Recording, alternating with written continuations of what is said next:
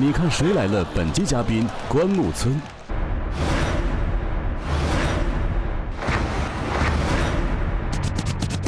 这里是天津卫视《你看谁来了》节目现场，有请主持人王芳、王维念。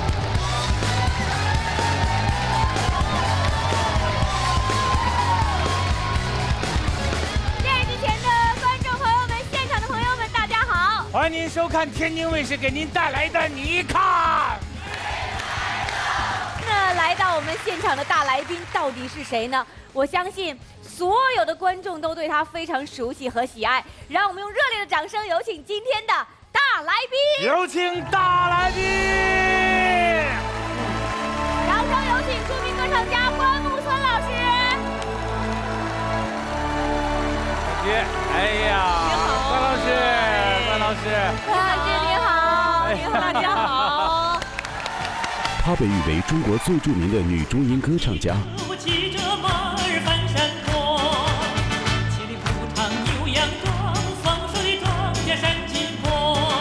她极富特色的女中音，浑厚而富有磁性。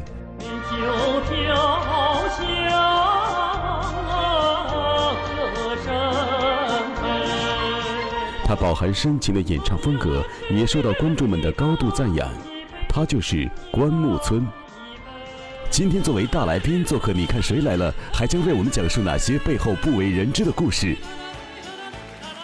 今天回到天津卫视，这是咱老家呀。对呀，我发现这个天津人一说起您的时候，脸上都放光，是，特别为您骄傲。我也一样。嗯，呃，说天津卫视的节目，我那绝对得来呀，是不是？维念，王老师，是是是是是。嗯，其实说到从天津出生，然后长大，呃，我想知道您在天津哪个区长大的？河北区，河北区。对，呃，很离那个意式风情街不远。哦，那现在您还在这个区生活吗？不在了，我现在跑到郊区去了，嗯，团泊湖南边那个团泊湖那儿去了。哎，关老师，您看您是全国著名的女中音啊，您这个中音是与生俱来的吗？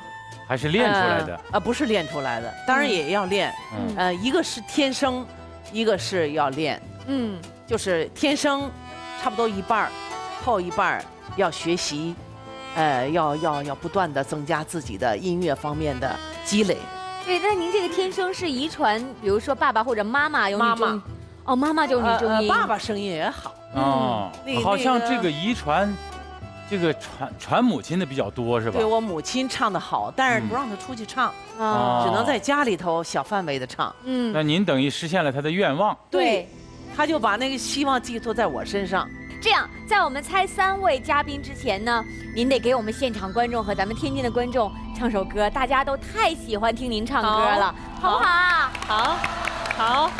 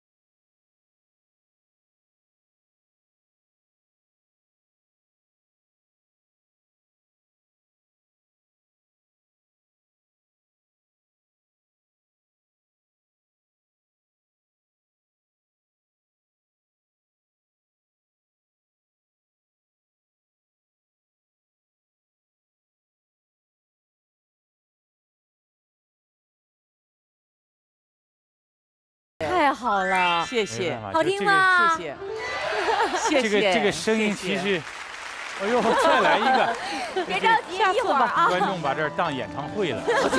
咱们以后，我们这儿第一次发出再来一个的声音。哎呦呵蒋大为老师唱的好不好？好没有人提这种要求，唱一个就完了。我不相信，你真的，那就我说蒋老师，要不再唱一个？观众说不用了。